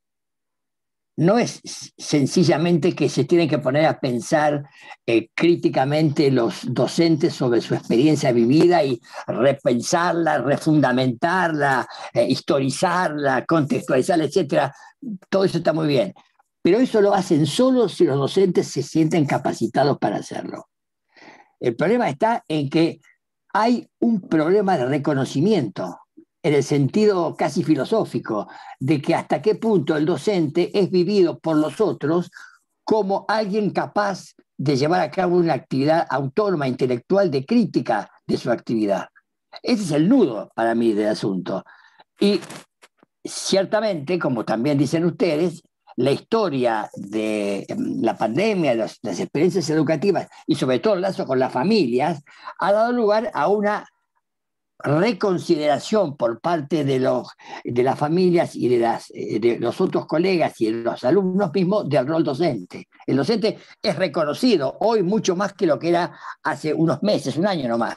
Un, un, docente que estaba en una situación bastante de pérdida de identidad institucional y hoy está, está reconstruyendo, no está recuperando, está armando su propia identidad en una práctica con sus colegas y con las familias. Entonces, eh, ahora, si, esa, si ese reconocimiento no se reconstituye, si no hay una lucha decidida de los docentes por ser admitidos en su propia potencialidad de grupo, de, grupo eh, como las mujeres, los, los, este, los, eh, los dichos de otra cultura, los docentes a veces son un grupo social, son una, una, tienen una cultura propia Y esa cultura tiene que ser reconocida por los otros y por las instituciones. Si las instituciones como la escuela o los ministerios no, dan, no reconocen en el docente esa capacidad de elaboración, la reconstrucción no es posible. Por ejemplo, cuando la ministra Acuña dice que los docentes son gente perdida de la sociedad, son gente no muy inteligente, que no les fue bien, y entonces se mete en la docencia, esa es una estigmatización de los docentes, ese es un no reconocimiento. Y entonces, si ese reconocimiento, si esa exclusión es compartida socialmente, es muy difícil que el docente pueda verse a sí mismo como alguien capaz de reconstruir su experiencia. Entonces, el problema del reconocimiento es un problema central, me parece que eh, deberíamos pensar. ¿no? Y hay, hay más cosas que se pueden agregar, pero no es el momento. Pero digo, es un tema central. No hay reconstrucción cognitiva de los maestros, aún en una práctica social, si ellos mismos no se ven conocidos por sus pares y por las instituciones. Hay algunas, eh, hay pedido de palabras, si quieren. Sí, eh, exacto, exacto, hay eh, pedido de palabras, la estoy viendo. Tenemos a Nancy Mateos, después había pedido Sandra y después Nora que levantó la palabra. Ah. Perfectamente, sí, sí, sí, yo también tengo el mismo registro. Nancy. Desmuteate, Nancy, estás muteada. Minuto. Ahí, ahí me escuchan. Sí. ¿Qué tal? ¿Cómo te va? Hola, ¿cómo te va? Bien, bien. No, te, no te puedo. Un placer la, lectura del artículo. La verdad que ese esfuerzo de sistematización de, los problemas que traen, eh, digamos, como para que la enseñanza cobre relevancia y, bueno, se pueda convertir en un motor de, productividad en los docentes, eh, lo agradezco, me, ayudó a pensar. Eh, en la línea de lo que se está eh, diciendo antes em, y pensando, digamos, ya en, en, esta posibilidad, digamos, de esas políticas para la reflexión, que creo que son centrales, eh, digamos, algunas cuestiones que, eh, digamos, por haber intentado en algunos momentos eh, e, ese tipo de propuestas, creo que hay que, no sé, creo que para mí me parece que sería necesario tener en cuenta, digamos, por un lado, es que hay una tensión entre la participación, digamos, este, este reconocimiento desde el que se habla, este punto de partida desde eh, la propia problemática, la propia práctica, y una direccionalidad. Eh, digamos, ustedes eh, ponen énfasis en esta importancia de salir del nivel de lo catártico, eh, digamos, los grupos, lo, decía Carolina hace un rato, ¿no?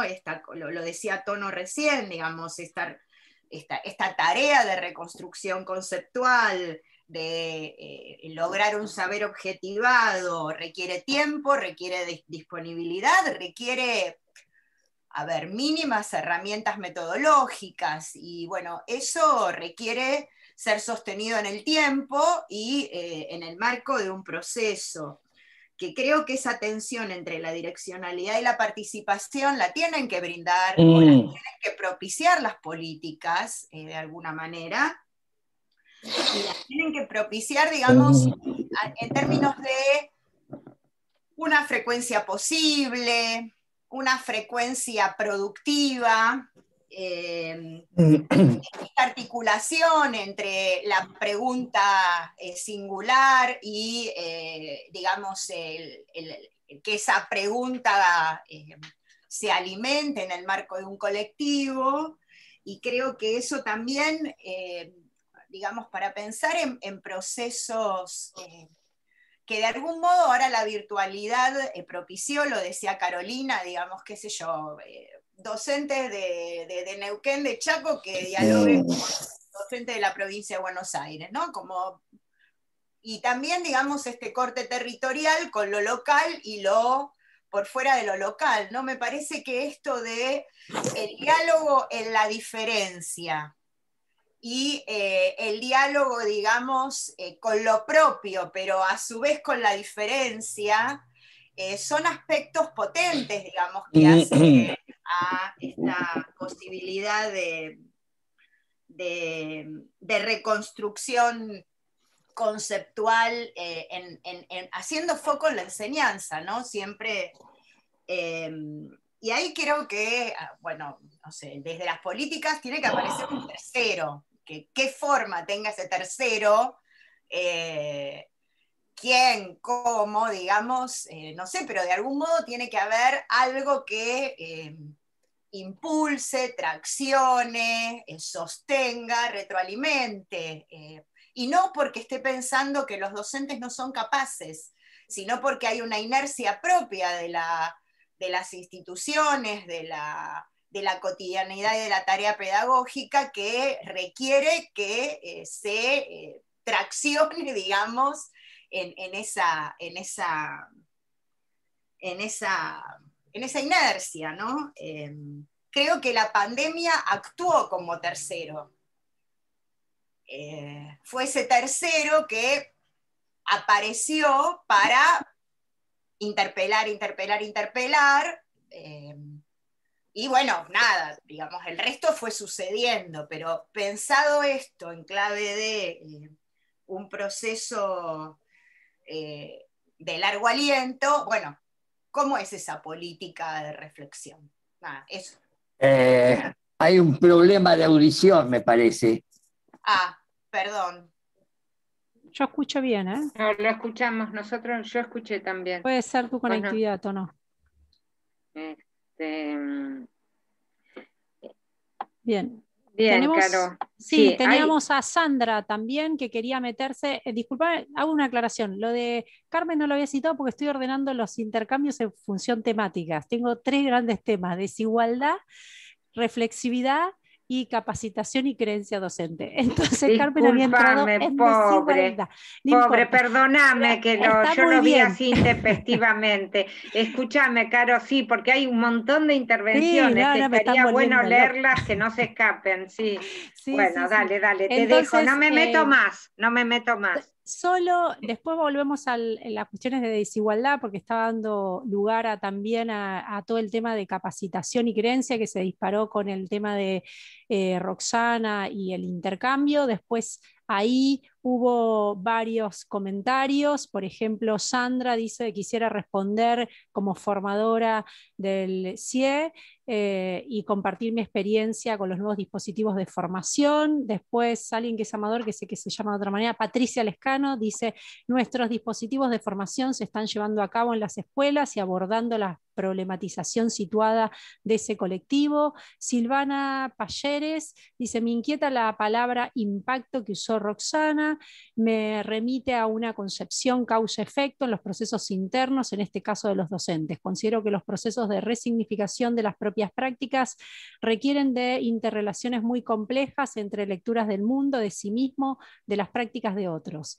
Ellos se, va, eh, dan en proceso, también a veces con idas y vueltas, y no solo en espacios académicos, sino, por ejemplo, en aquellos que nos ofrece el arte. Flor Taudas dice, retomando la necesidad de recuperar el vínculo con los institutos de formación docente y las instituciones coformadoras, un trabajo colectivo que nos permita objetivar las preocupaciones de los docentes para tomarlas en la formación inicial. Mónica dice, en Dirección Superior de la Provincia de Buenos Aires comenzamos un proyecto de coformación que creo aborda lo que plantea Flor. Inés dice exactamente Excelentes aportes. Flor dice, pienso que para la formación continua tenga impacto tiene que, seguir de una, tiene que surgir de una preocupación de los docentes.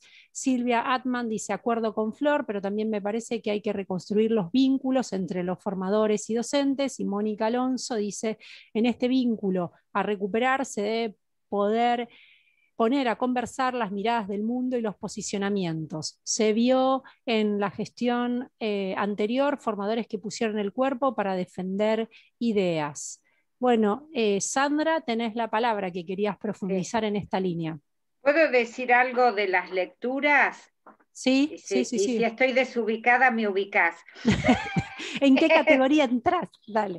Este, no, pero eh, Silvia menciona como al pasar algo que tiene el implícito de que hay cierta ruptura eh, de los vínculos entre formadores y docentes que habría que reconstruir y que después me gustaría que lo explayara porque no lo hemos mencionado, pero me parece un punto renodal porque, bueno. porque es esa ruptura, pero no necesariamente eh, ahora, sino cuando... No, entonces podemos hacer eh, Sandra y Silvia, y le pido a Nora si puede esperar un ratín y la sumemos después a, Nora, ¿sí? Perfecto. Sandra, tenés la palabra. Bueno, buenos días. Eh, yo soy formadora del CIE de Región 8, también alumna de la Maestría de Formación Docente, que ha abandonado este espacio justamente eh, por poner en primer lugar eh, el acompañar en estas mesas de acompañamiento pedagógico didáctico más Ateneo, que es un nuevo dispositivo que eh, la Dirección de Formación Permanente de la provincia de Buenos Aires ha construido. Es, es, muy nuevo y durante el segundo cuatrimestre del 2020 se nos ofreció la posibilidad de eh, ponerlos en acción al mismo tiempo de eh, poder acompañar a diferentes instituciones, ya no docentes, individualidades, digo, sino pensarlo en, lo colectivo y en clave institucional, eh, justamente el problematizar las prácticas situadas. y, quería compartir parte de la experiencia eh, que puedo dar cuenta que generaron transformaciones inmediatas en la práctica. El poder conformar esas mesas de acompañamiento como un espacio para reflexionar y para producir conocimiento sobre las propias prácticas, eh, la verdad que fue un arduo trabajo desde, desde mi lugar como formadora, por eso no pude continuar con este espacio de la maestría, eh, y así como mencionaban este programa de ATR como una respuesta a respuesta inmediata, ¿no? Una política pública educativa que está dando una respuesta inmediata para acompañar las diversidades educativas. Este dispositivo también fue diseñado para acompañar esas prácticas y esas transformaciones. Y es muy nuevo, eh, todavía eh, recién se inicia, digo, son las primeras experiencias, hay mucho por rever, modificar, eh, pero sí quería compartirles que inicialmente esto que decía Antonio respecto de empoderar a las docentes desde la producción del saber, desde encontrar la posibilidad de que hubieran espacios de valoración de sus propios pensamientos, requirió análisis de lo que ellas iban creando y diseñando como formas de eh, construir conversaciones pedagógicas en este contexto de pandemia por diversos medios eh, y haciendo foco en eh, cómo podíamos sostener que los niños pudieran construir un conocimiento pese a, ¿no? Digo, la mirada estaba puesta, ¿cuál era la relación que existía entre esa propuesta de enseñanza y eso que podíamos detectar como saber construido por los niños? La verdad que em, yo quería compartirles estas primeras experiencias de este dispositivo, eh, que hasta ahora, digo, está en pañales, ¿no? Eh, pero que sí logró transformaciones en la práctica inmediata. Y sí tiene muchísimo que ver el vínculo que sostiene eh, cada uno de los CIES de la provincia de Buenos Aires con las diferentes instituciones eh, con las que se relaciona. Y bueno, no sé, pero quería por lo menos poner en duda esto que, que, se había planteado, de que aún no se logra eh, modificaciones en las prácticas a partir de eh, los, los, tránsitos por estos espacios de formación. Me parece que, que también ah, habría ah. que, que tratar de no generalizar. Hay, hay, experiencias que dan cuenta de que sí es posible y bueno, vamos a ir por más y estamos intentando ahora en este curso de febrero de 2020, de 2021, perdón, poder acompañar en esa organización eh, que es tan compleja de esta unidad pedagógica 2020-2021 y estamos mm. en, pleno proceso. Bueno, muchísimas gracias. Eh, disculpen, voy a hacer una moción de orden. Patricia y Tono, díganme qué les parece. Faltan 20 minutos para el cierre del espacio. Yo lamentablemente a las 12 me tengo que retirar porque tengo mesa en General Sarmiento, una mesa presencial por primera vez después de tanto tiempo de de ausentismo y virtualidad. Em, entonces, además las 12 es el, es el cierre. El cierre de la actividad, sí. tenemos dos oradoras más, Silvia Adman y Nora Martínez, y eh, hay algunos chats para leer sobre las líneas que, estuvimos conversando. Si les parece con eso, podríamos hacer el, por lo menos el cierre de la recepción de los intercambios y ustedes eh, ponen unas palabras. De acuerdo, de acuerdo. Muy bien. Bueno, Silvia Adman, tenés la palabra. Gracias. Bueno, en realidad eh, me parece que lo que dijo Sandra recién y está vinculado con algo que dijo Patricia hace un rato. La idea no es generalizar, sino este, pensar que hay de todo, hay de todo, ¿no? Este, entonces, eh, esta cuestión que muchas veces los docentes miran a, los formadores como alguien que les viene a, traer alguna verdad este, revelada y se posicionan en un lugar de mostrar lo que saben. Y eso está relacionado también con algo que dijo Tono este, más temprano, de em, cómo se ve el, docente a sí mismo y cómo está posicionado y cómo está construido ese, ese posicionamiento. Y me parece que ahí hay, hay una punta para trabajar bastante, ¿no?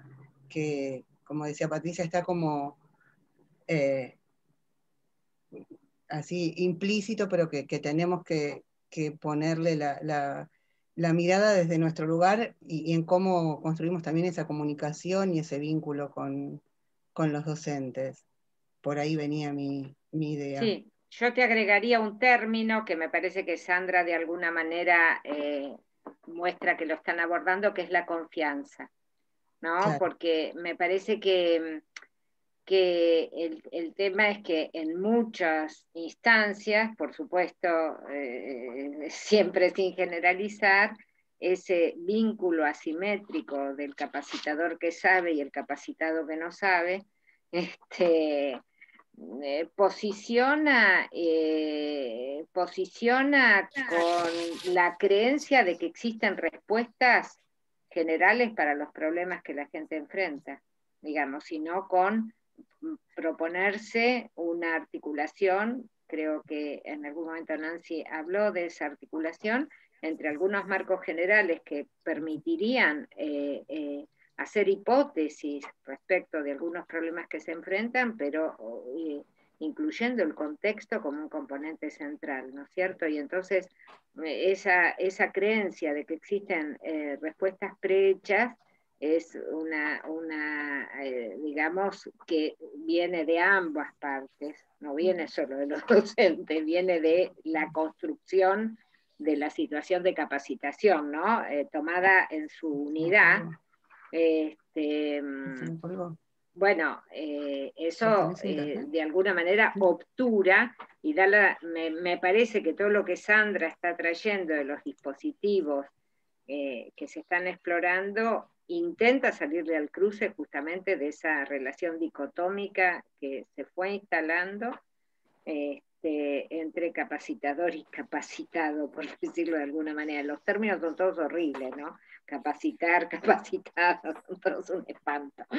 Este, sí. Bien, tiene la palabra Nora. Con esto terminamos de cerrar los oradores orales. No, yo eh, cortito, nada más quería eh, hacer una, eh, traer un ejemplo respecto de esta cuestión y me parece que todas las intervenciones que estamos escuchando han profundizado el tema, pero simplemente decir que la experiencia de provincia de Buenos Aires de ATR ha para mí, ha puesto una situación bastante novedosa en funcionamiento, que es habilitar a las docentes en formación para que salgan al terreno, se enfrenten con la situación y eh, ensayen respuestas. Y me parece que esto ha interpelado a las instituciones formadoras fuertemente.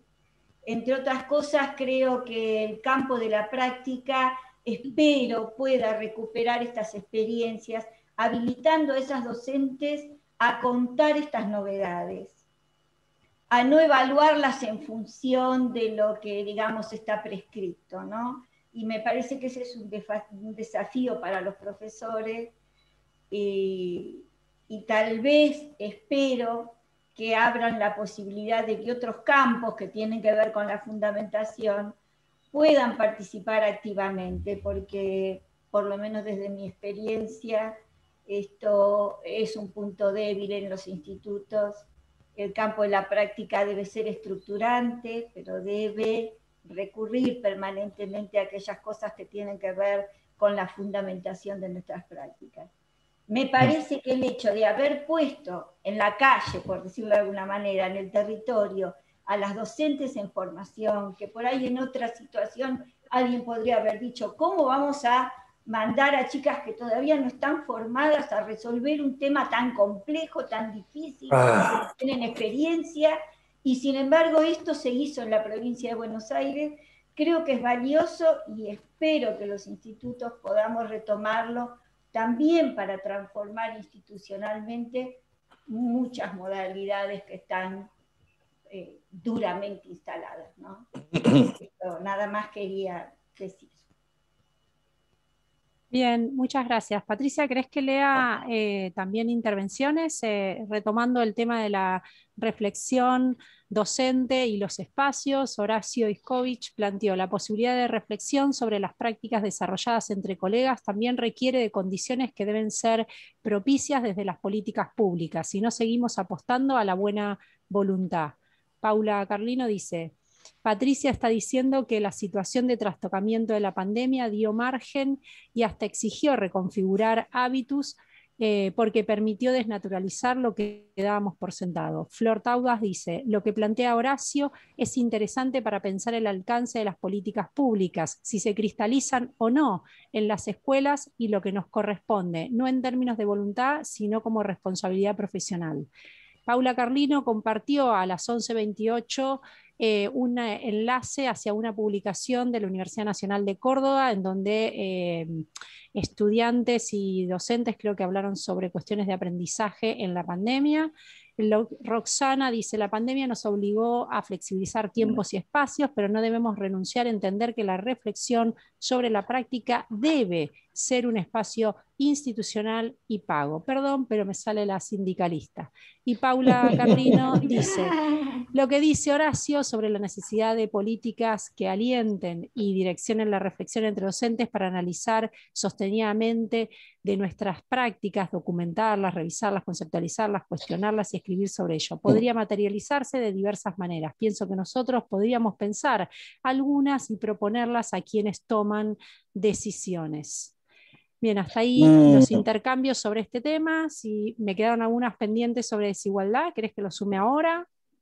Mm. Eh, yo diría que sí, porque así después... Eh, Hacen el cierre. Claro. Muy bien. Sobre eh, la cuestión de la desigualdad, recién ya está, habíamos estado discutiendo y haciendo todo el intercambio. Eh, Mónica a las 10.46 dice, para que impacten las prácticas, los procesos deben ser colectivos y asumir la función política del docente. Pablo dice a las 10.49, creo que la tesis de Maschelin y Simmons es más que interesante y que la escuela es, o entre paréntesis dice, o debería ser, eso que ellos describen. El problema, entre paréntesis, como ellos mismos sugieren, es que ya antes de la pandemia muchas escuelas no son escuelas. Carmen ahí dice, Guacota. solo una interrupción. Pablo, te esperamos en otro conversatorio. sí, totalmente. Sí, claro que, claro que yo pienso lo mismo. Es bueno para discutir, muy bueno para discutir. Perfecto. Sí, sí, sí, sí. Hacemos cita. Vale. Muy bien. Ahí es cuando 1051, Carmen dice, desigualdad bien diferente a diversidad. Silvana Ramírez dice, buenos días, soy Silvana Ramírez, directora del Instituto de Formación Docente 88 de La Matanza. No solo la desigualdad de los estudiantes nos estalló, no por desconocerla, sino por su crudeza, también la desigualdad de algunos profesores. Mis colegas también tuvieron dificultad de conectividad y no disponían de insumos para conectarse. Y Mónica 1054 dice, es a mi criterio un tema de posicionamiento ético-político y necesidad de retomar el pensamiento político pedagógico latinoamericano con los estudiantes en la formación docente y con docentes. Y finalmente, los últimos intercambios sobre el eje más de capacitación, formación, comentarios que llegaron después de la exposición de Sandra. Dice, apoyo lo que venís diciendo, Sandra, son procesos de construcción largos y con anclaje institucional.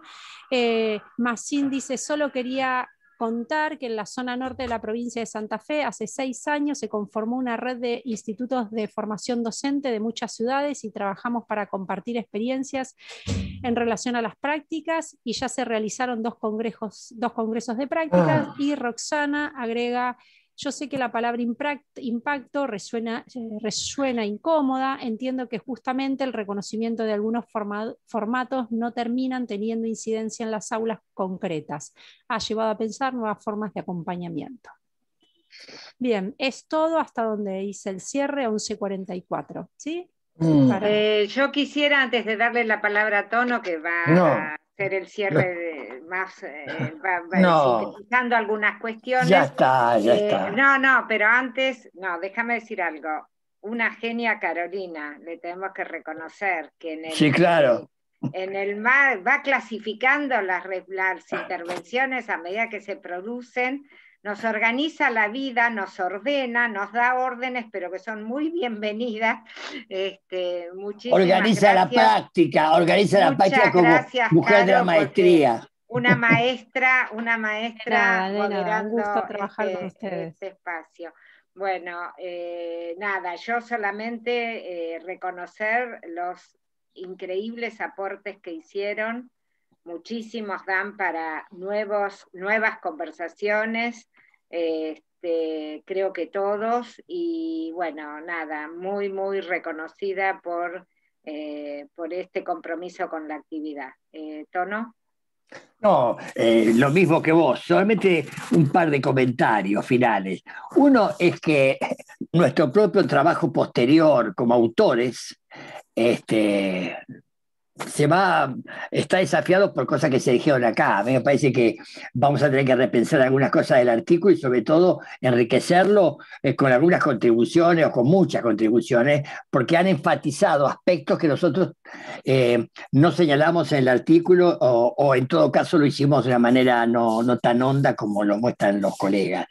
Y la segunda cosa es que eh, de un punto de vista ya totalmente personal, yo veo que hay muchos problemas acá eh, que, eh, digamos, desafían a, todos nosotros a, repensarlo, ¿no? Eh, me vienen al, recuerdo, digamos, lo que ustedes dijeron, sobre todo, me, me suena como altamente conflictivo, por ejemplo, este, la problemática que hace la relación entre eh, las vivencias de los eh, eh, profesores, de los maestros y la, famosa reconstrucción. ¿no? A mí me parece que ahí hay un problema que no está del todo claro. hay, porque a veces, digamos, nosotros tendemos a pensar que una cosa es pensar y otra cosa es sentir. Una cosa es valorar y otra cosa es razonar. Bueno, eh, eh, el problema que, nosotros queremos plantear, que deberíamos plantear mejor, es que esos dos componentes son indisociables. Para poder eh, realizar una actividad intelectual se necesitan ciertos valores, entre ellos los valores que de los docentes, como decía hoy, que se ven a sí mismos en relación con los otros o con las instituciones de una manera, digamos, capaz de ser una valoración de su productividad. Sin eso no hay reconstrucción, pero al revés, la deconstrucción, la actividad intelectual de los docentes en colectivo, no individual, en colectivo, permite revisar los valores que se han puesto en juego, permite muchas creencias, las que aquí se mencionó muchas veces. Hay una circularidad en espiral, digamos, entre reconstrucción y vivencia que me parece que es este, necesario eh, seguir pensando, como también los problemas de la relación entre diversidad y desigualdad, las problemáticas entre digamos, eh, el docente como un actor eh, del sistema educativo y tener que, eh, por otra parte, trabajar en un escenario donde depende de las políticas públicas. La relación entre reflexión y política pública también es un tema que me parece no está resuelto, que muchos lo han planteado, pero es crucial cómo organizar esa política pública, qué jurisdicción tendría que hacerlo, digamos, qué espacio esa jurisdicción debería dar a los docentes para eh, que ese espacio fuera productivo en el sentido que todos ustedes lo han dicho. Bueno, eh, podría seguir enumerando eh, problemas, ¿no? Yo creo que lo que vale de esto es el problema. Lo que, lo que importa, si este artículo sirve para algo, es, es que deja abiertos problemas eh, y, esa resolución de esos problemas no es la obra sola de un par de, colegas de esta universidad, sino en todo caso es la obra de, muchos colegas. ¿no? Este, a mí me parece que eh, aspiramos a que otros colectivos, otros conversatorios eh, institucionales eh, a partir de la UNIPE, particularmente, nos permitan que esta elaboración de hoy tenga un efecto un poco más, digamos, eh, impactante, como no le gusta decir a, casi a nadie, impactante sobre nuestras prácticas, ¿no? Pero eso supone que haya también espacios colectivos para discutir estas cosas no, no solamente espacio objetivo para que los docentes elaboren sus problemas eh, respecto de lo que pasó en la pandemia, sino nosotros mismos deberíamos multiplicar nuestras eh, para eh, resolver algunos de estos problemas o intentar resolver algunos de estos problemas. Yo me voy muy conforme, muy contento y muy desafiado por la participación de, de los colegas. muchísimas gracias. Bueno. Bueno, estamos por finalizado, ¿te parece, Patricia? Sí, claro, claro. Bueno, bueno. muchísimas gracias. Otra vez. faltan tres minutos. Otra vez, no, ya estamos, ya estamos. Otra vez, muchas gracias. perdón, podemos sacar los micrófonos y aplaudirlos porque creo que, o aplaudirlos y aplaudirnos porque creo que vale la pena. Muy bien, muy bien. Bravo, muy bien, muy bien. Bravo.